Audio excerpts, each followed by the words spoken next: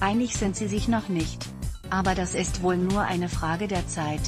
Freitag enthüllte Bild, dass Gladbach heiß auf 96 Torjäger Niklas Füllkrug, 25, 14 Saisontore, ist.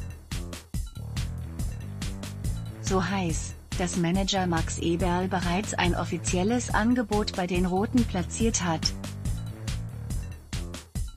Das, erste, Gebot, knapp mehr als 10 Millionen. Bestätigte Boss Martin Kind, uns liegt ein Angebot aus Gladbach vor. Dieses Angebot haben wir abgelehnt. Keine überraschende Reaktion. Das ist das gute Recht von 96, sagt Fülle-Berater Gunther Neuhaus Stars und Friends, entspannt.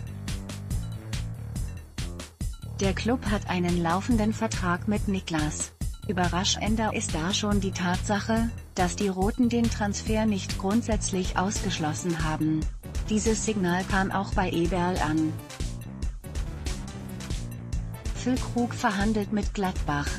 Vor dem ersten Angebot versicherte sich Eberl, dass Fülle grundsätzlich Interesse an einem Gladbach-Wechsel hat. Bevor er jetzt nachlegt, muss er versuchen, sich mit Füllkrug zu einigen. Das würde den Druck auf die Roten im Ablösepoker erhöhen. In Gladbach ist von einem Vertrag bis 2022 mit Minimum 2 Millionen Jahresgage die Rede.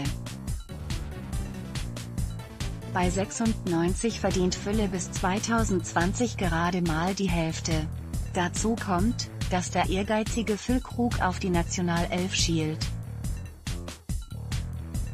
Beim Neuaufbau nach der WM haben die Strafraumstürmer Gomez, 32, und Petersen, 29, keine Zukunft, Wagner, 30, ist bereits zurückgetreten.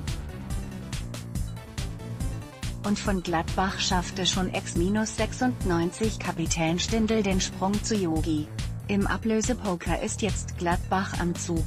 Aus 96 Kreisen ist zu hören, dass unter 13 Millionen nichts geht. Dazu Erfolgsaufschläge fürs Erreichen der Europa- oder Champions League. Je mehr, je besser. Denken Sie auch bei Aufsteigern Nürnberg.